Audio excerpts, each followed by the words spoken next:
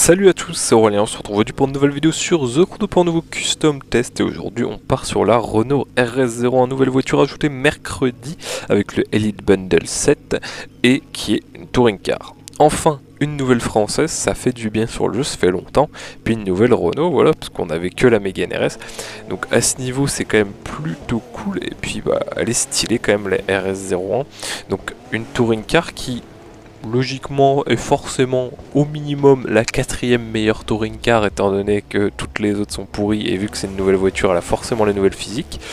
Donc du coup euh, on va se tester ça. On va voir si on peut je pense pas qu'on peut faire quoi que ce soit esthétiquement mais on va quand même voir si il y a possibilité de, faire des petites customs. Donc je l'ai déjà maxé. Euh, j'ai pas encore fait le réglage. Euh, on va faire ça juste après. Et puis euh, voyons voir déjà quand même. Donc pièce esthétique, tu peux changer les jantes. Voilà, t'as qu'une jante d'origine. Mais on va rien changer évidemment. Hop, et puis peinture. Alors t'as plusieurs peintures officielles, tiens, ça je pensais pas.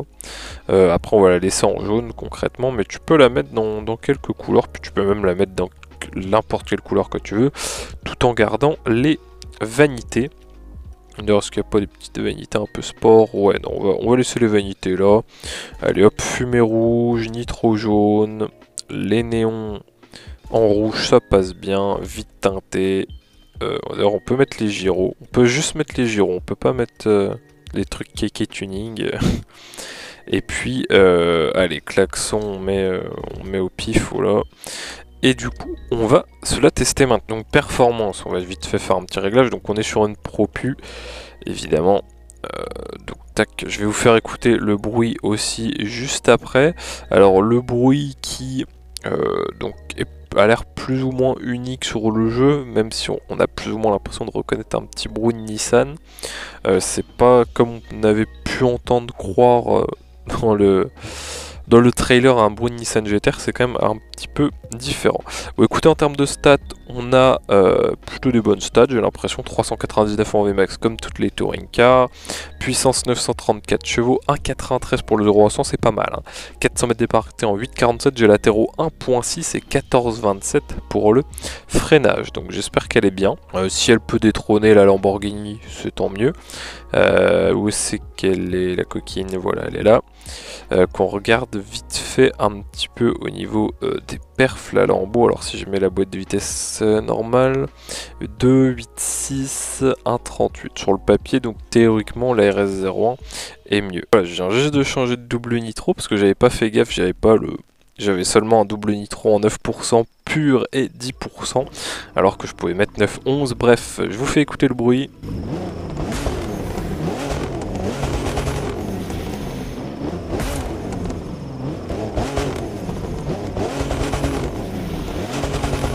Donc voilà, un bruit quand même sympathique. Euh, et puis au niveau de l'intérieur, donc euh, voilà, c'est assez simplifié.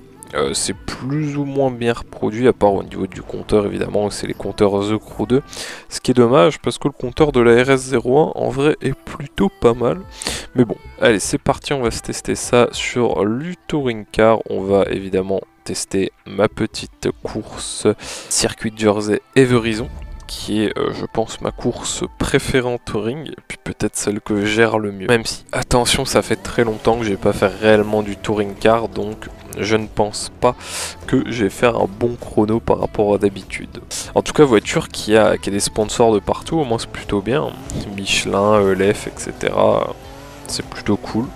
Ça, ils auraient pu nous... Ils pourraient nous mettre des, petits sponsors comme ça en livret, ce serait plus simple. Hein. Ce serait plus propre, mais bon pourquoi ils ne le font pas, c'est dommage. Peut-être qu'ils doivent avoir les licences, enfin c'est même sûr, mais... Bon, bref, c'est pas le sujet. Voyons voir ce qu'elle a dans le, dans le bid. Alors par contre, j'ai déjà perdu une seconde à cause de lui, ça y est. Oh, ça a l'air de plutôt bien accélérer, c'est déjà un, un, bon, un bon signe. Ça freine bien. On va voir en termes de virage que ça vaut. De toute façon, elle est au minimum quatrième, ça, c'est d'office. Euh, ça a l'air de glisser quand même un petit peu. Tac. Là après ça se débrouille bien ici, mais ça a l'air de glisser un petit peu, puis on va voir l'appui à haute vitesse comment il est. C'est ce qui compte aussi, en général pas mal. Bon, elle a quand même pas mal d'appui. Hein. Elle a quand même pas mal d'appui. Donc c'est pas mal. peut-être moins que la Gallardo, que la Porsche, possiblement que la Ferrari, mais la Ferrari ça fait tellement longtemps que je l'ai pas conduit que je vous avoue que je ne sais plus. Euh, mais en termes de, reste, elle se débrouille quand même pas mal. Après le truc c'est qu'elle glisse un petit peu en sortie de virage pour l'instant avec ce, réglage donc faudra peut-être modifier ça à ce niveau sur les réglages à faible vitesse mais euh, bon ça a l'air quand même pas trop mauvais non plus. Après est-ce qu'elle détrônera la Gallardo je ne sais pas. Après en termes d'appui à très haute vitesse elle est quand même pas mal. Euh, elle gère quand même plutôt bien les virages. Euh, à ce niveau il n'y a, pas de souci. La puissance nitro est plutôt correcte pour une, une touring. L'accélération aussi. Après de toute façon à ce niveau ça détrônera pas quand même la, la comment la Porsche hein, la Porsche Baby qui est clairement bah, la voiture la plus pétée en termes de nitro et, d'accélération je pense. Euh, mais elle se débrouille quand même pas mal cette petite RS01 même si je, sens que je pense pas qu'elle détrônera quoi que ce soit. Mais ça passe quand même à donf et on va faire de 19 même du coup de 18 904 avec la réduction euh, du premier coup. Donc euh, par rapport à mon record qui est 2,16, voilà, c'est quand même pas trop dégueu, hein. je précise ça fait quand même très longtemps que j'ai pas fait la course, donc euh, ça va, franchement ça va. La voiture a l'air quand même pas trop mauvaise, après voilà, je, concrètement à mon avis ce sera toujours la Gallardo la première, on va quand même se la tester sur d'autres courses afin de voir ce que ça vaut. Mais euh, malheureusement, je... ouais, c'est parti, on part sur circuit The Giant Everison. Donc euh, bon, après les autres courses, c'est pas forcément les courses que je gère le plus, mais faut bien faire des petites courses. Ça, fait assez longtemps dans la globalité que j'avais pas fait de touring car forcément vu qu'il n'y avait pas de nouvelles courses et pas de nouvelles euh, voitures. Mais après la, course de touring car en The Stun ça compte pas, c'est pas du touring car ça si c'est pas vraiment sur circuit. Mais, euh, mais ouais, du coup, ça fait très longtemps que j'en avais pas fait. En même temps, faut dire qu'on a euh, presque 60 bagnoles en touring car, mais t'as 10 courses de touring car, des vraies courses. Donc, euh, bon. Moi, j'attends quand même qu'ils nous remettent des nouvelles courses de touring. Surtout qu'il y a moyen avec les quelques circuits qui sont pas utilisés sur le jeu. Mais bon, tu sais pas pourquoi ils le font pas. Et ils préfèrent nous ajouter des courses stunt en touring car.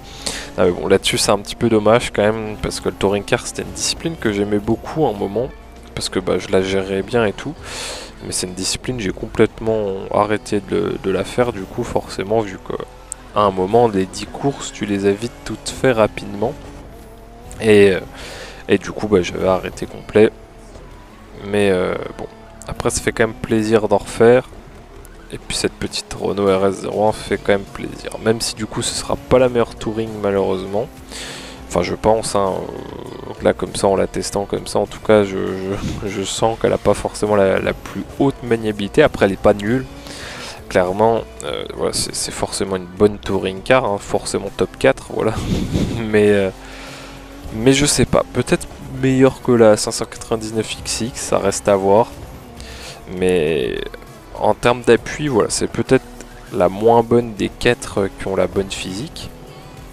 Par contre, en termes de d'accélération et de, puissance nitro, elle se débrouille pas mal du tout. À mon avis, là-dessus, elle est mieux que la Ferrari déjà, ça c'est sûr. Donc, à mon avis, quand même, on n'est pas sur une voiture trop trop dégueu non plus. Voilà. Euh, après, pourquoi pas faire quand même un petit battle avec la Gallardo, euh, justement pour voir ce que ça donne. Ça pourrait être sympa. Tac. Bon là je fais un peu de la merde. Euh, pour voir justement bah, un peu tous les, domaines, l'accélération, les temps sur circuit, etc. Bref, voir un peu tout. Je pense qu'on se fera ça, un petit battle. Lamborghini Gallardo vs Renault RS01 pour voir si vraiment elle est beaucoup derrière ou pas. Mais bon, elle est quand même cool autant la conduire un peu. Hein. Une voiture française, c'est pas tous les jours quand on a. Enfin, si on enlève les Bugatti sur le jeu. Des autres marques françaises, c'est pas tous les jours quoi. Parce que bon, c'est vrai qu'au final, on n'a pas tant. Enfin, on a quand même des voitures françaises assez régulièrement, vu que Bugatti est français, que des Bugatti on en a à chaque mois. Mais, mais bon, on peut pas non plus. Voilà quoi. Bugatti, c'est une marque française, mais c'est pas forcément la seule marque française qu'on a déjà. Et puis, c'est une marque quand même différente des autres marques françaises quoi. C'est vraiment la marque prestigieuse par excellence, Bugatti. Renault, un peu moins, quoi. C'est un peu moins de prestige que Bugatti, quoi. Mais bon. Tac. Allez, c'est parti. Et on finit en 3.22. Je ne sais pas du tout si c'est un bon chrono. Euh, on va voir, on va voir par rapport à notre chrono à nous. Euh, mais je pense pas que c'est 3.22. Bon, c'est mon record. Ah, c'est pas spécialement mauvais, ok. en étant en vidéo comme ça, en discutant, j'ai fait carrément mon, record en 41ème mondial. Ok, c'est pas dégueu. C'est pas dégueu. Mais après, ouais, la voiture est quand même bonne. Hein. En termes de stabilité, la voiture est très bonne à haute vitesse. Je pense qu'elle est plus stable que la Gallardo à haute vitesse. Après, vu que c'est une propu à basse vitesse sur les réaccélérations, il faut faire un petit peu attention. Mais après, ça peut se corriger. Euh, par contre, voilà, au niveau du, de, la, maniabilité, c'est peut-être ce qui, ce qui lui fait un petit peu défaut. Mais elle n'est pas mauvaise pour autant. Elle n'est pas mauvaise pour autant. Euh, qu'est-ce qu'on peut tester comme course? On va tester aussi après la VMAX pour voir un petit peu ce que ça vaut. Alors c'est juste par curiosité la VMAX parce que jamais vous n'atteignez la VMAX dans une course de touring car. Mis à part peut-être Serial Jumper à plusieurs.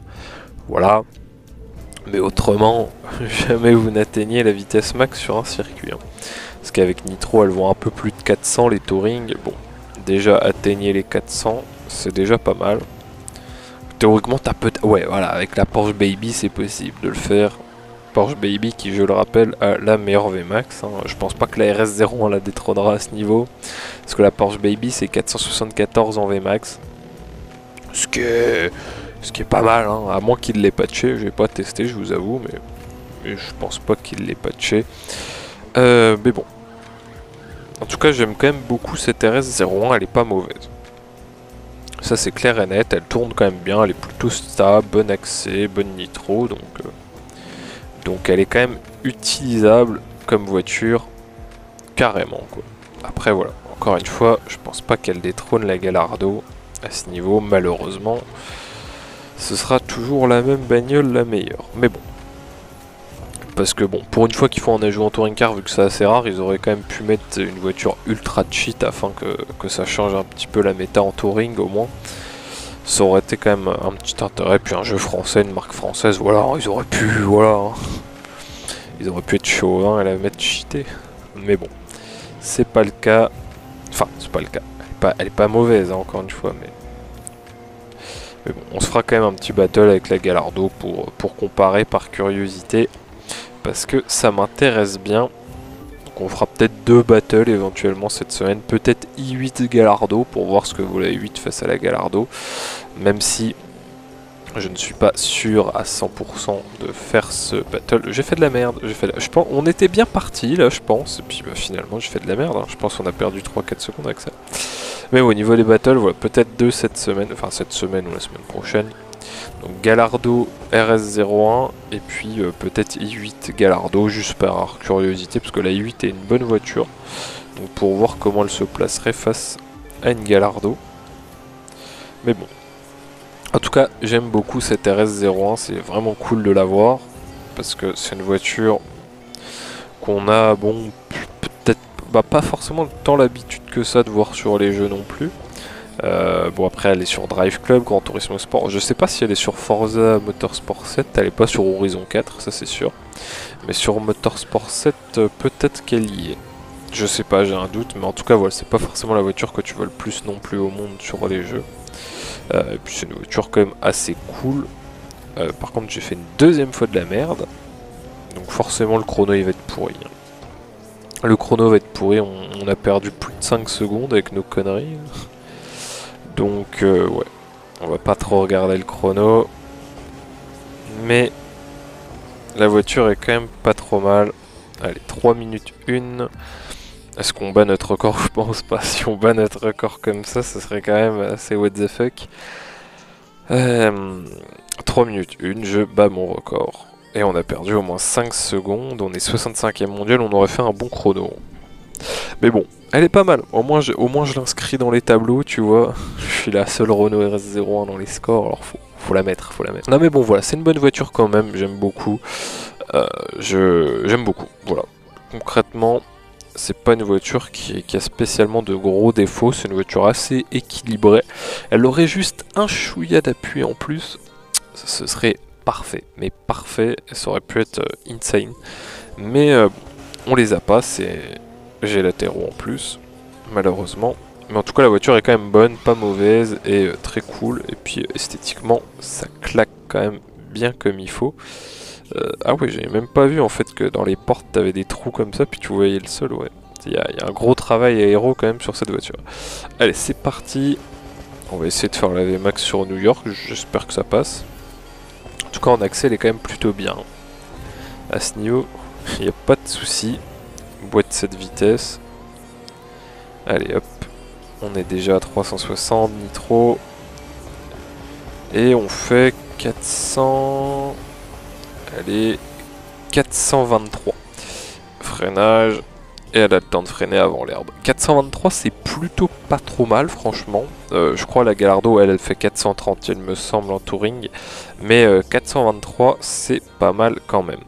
Donc du coup voilà, c'est tout pour cette vidéo. Donc mon avis sur la voiture, c'est quand même une bonne voiture. Voilà, c'est pas non plus un achat à éviter, hein, c'est une bonne caisse.